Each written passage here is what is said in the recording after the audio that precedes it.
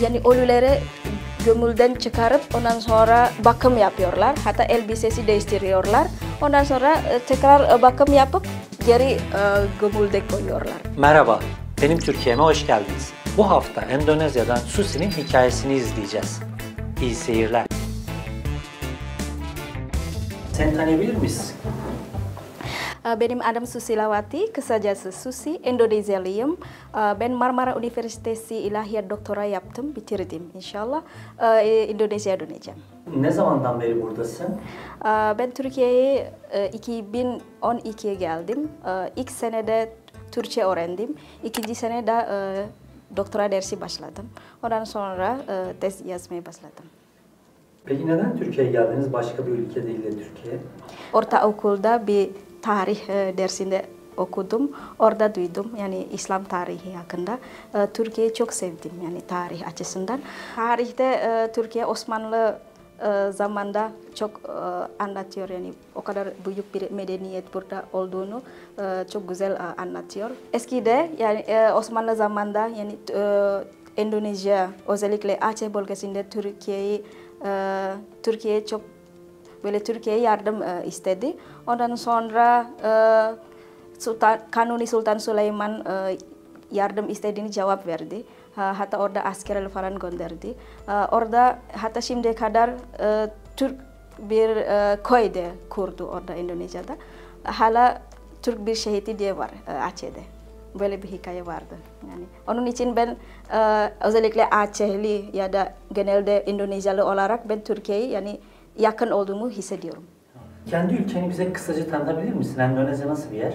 Ee, Endonezya'da 17 bin adadan oluşuyor. 600 e, dil var. Yani farklı yerel dil orada bulunuyor. E, 6 resmi din e, bulunuyor. E, yaklaşık 270 e, milyon e, nüfusdan oluşturuyor. Türkçeyi ilk ne zaman duydun? Türkçe ilk e, ne zaman duydum? Türkçeyi e, ilk daha önce Endonezya'da birazcık an, e, araştırma, yaptım. Türkçe ilk duyduğumda sanki bize biraz daha ağır e, kelimeler e, geldi. Hatta e, şöyle, evet Kazakça gibi değil yani Rusça gibi değil ama biraz böyle pa pa böyle T atau ya ta biraz böyle zıt, zıtlıyorsunuz yani onun için bize böyle bu kelimeler biraz yumuşak söylüyoruz. Buna göre farklı. Ortak bir kelime var mı Türkçe ile sizin dilinizde? Var ama e, Türkçe manasında biraz kötü olduğunu ben söylemek istemiyorum. Çok mu kötü? e, söyleyebilir miyim? Söyle. Yani Endonezya'da bir, bir meyve, bir meyve adı ama Türkiye'de e, Salak. Ya, aynen. Şeyde Bangladeş'te söylemişler. Meyvenin adı ne? Salak. Seni Türkçe'de en zorlayan kelime hangisi? En zorlaman kelime mesela e, ür, ürün, ürün. Çok zor. Yani tam söyleyemiyorum. Kıskanç olabilir. e, Ç, Ç kelimesi bizde yok. Ç harfi Ç ama sizde Ç böyle biraz e, zıplıyorsunuz. Onun için biraz zorlanıyorum. Türklerde farklı bulduğun neler var Türkiye'de, Türk insanında? Ee, iyi tarafta e, söylüyorum. Yani Türkler e, yani ilk e, tanıştığımda e, Türkler çok yardımsever olduğunu öğrendim. Yani maşallah çok iyi, çok e, e, misafirperversiniz. E, çok güler yüzlüsünüz. Yani siz bize yani tek başına bırakmıyorsunuz. Yani aile olarak kabul ediyorsunuz burası. Hatta onlar bize yabancı olarak demiyorlar. E, misafir öğrenci olarak diyorlar. Onun için bizim için bu çok önemli. Genel olarak söylüyorum bunu. Aa, Ama kötü tarafta ben genelleşmiyorum, genelleşemiyorum. Bu kelime de zor bana geldi. Aa, Sadece küçük e, bir bazı insanlar e, çabuk sinirli. çabuk sinirli. Bunu da çok e, bana biraz e, zor bana geldi. Yani bir gün ben o zaman ben evliyim. Yani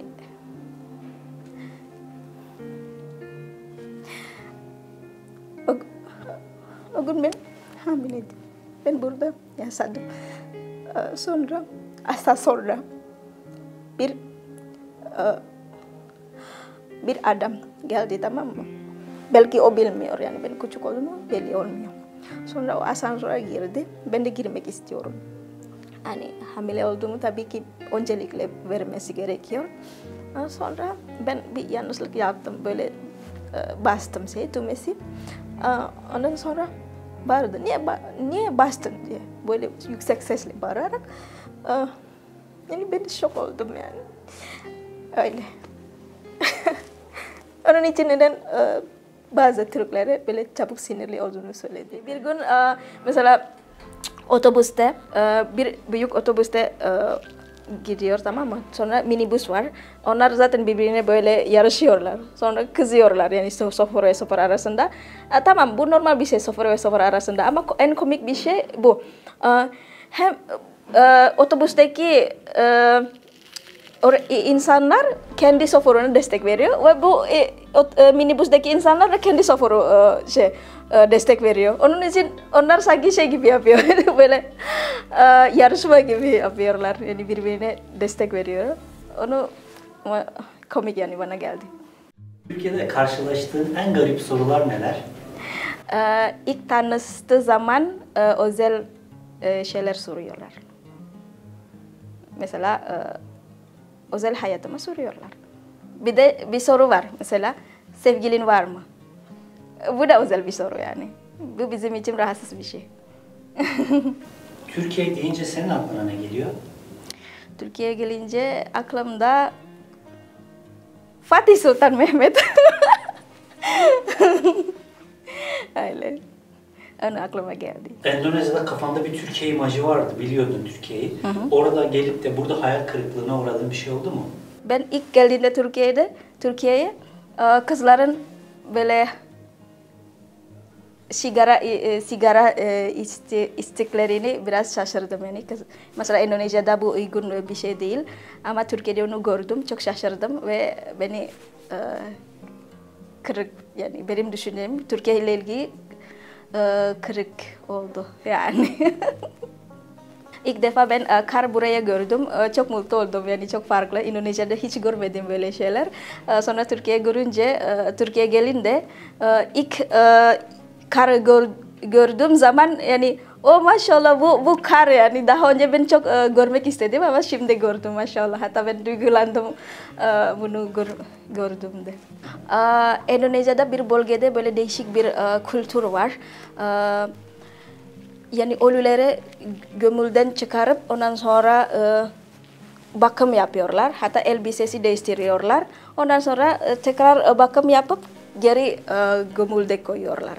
Bu benim için de garip bir şey. Belki dünyada bulu, sadece bir tane bulunuyor. Uh, yani neden onlar uh, bu ölülerin çıkarabilip her senede hatta her senede çıkarıyorlar. Uh, bu mumya bozulmadan uh, çıkar, çıkarabilirler. Uh, ölülerin mumya mumya mumya mumyalamak uh, sistemiyle uh, metodu ile uh, kuruyorlar. Uh, bu kültür tabii ki uh, Müslüman ait değil. Yani başkasının. Indonezya'da uh, genel olarak yavaş bir millet olduğunu söyleyebilirim. Yani hatta mesela vakit konusunda çok böyle dikkat olmuyorum. Bir yerde gidersek mesela saat 6 uh, söylerse tam 6'da uh, gelmiyoruz yani. 6'dan sonra gelebiliyoruz. Onun için siz saat uh, 3'te gel ama saat 3'te de, dememesi lazım. Yani saat uh, 2 ya da saat uh, 1'de gelsin. Öyle. Peki sen buraya alıştın mı bu konuda? Alıştım. Endonezya'ya gittiğinde sıkıntı yaşıyor musun? Evet, bazen oraya gidince ben e, sinirli olabilirim yani. Neden çok yavaşsınız diye. Çünkü ben kaç kere Indonezya'ya gittiğimde böyle hissediyorum yani. Yemek konusunda da mesela Indonesia yemekleri daha çok baharatlı e, genel olarak yani e, özellikle Sumatera adasında çok baharatlı ve çok e, böyle acı seviyoruz. Mesela Türkiye'de biraz sade. Ben ilk geldiğimde Türkiye yemek çok zorlanıyorum. Hatta ilk e, geldiğimde daha çok hazır yemekler yiyorum. Yani Indonesia bulunan hazır yemekler onu yiyorum. Ama daha sonra yavaş yavaş alıştım yani şimdiye kadar. Ben okulum bitirdim. Artık Türkiye'den gideceğim inşallah bu ayın sonunda. Ben e, Türkiye'yi çok sevdim e, gerçekten. e, sanki kendim e, akrabam akrabam gibi hissediyorum. Mesela bir gün ben e, aktarma yaptım bir e, şey Indonesia giderken e, bir Arap ülkede yani Yemen'de mi? E, yok Urdun'da ben e, aktarma yaptım. Orada e, simit sarayı gördüm. Sanki bu simit sarayı benim e, diye hissediyorum. Ya simit sarayı var diye. Çok mutlu oldum yani. Bu kadar seviyorum ki Türkiye'yi. Yani Türkiye ile ilgili da çok seviyorum. Nama saya Susilawati, saya dari uh, Jawa, Indonesia.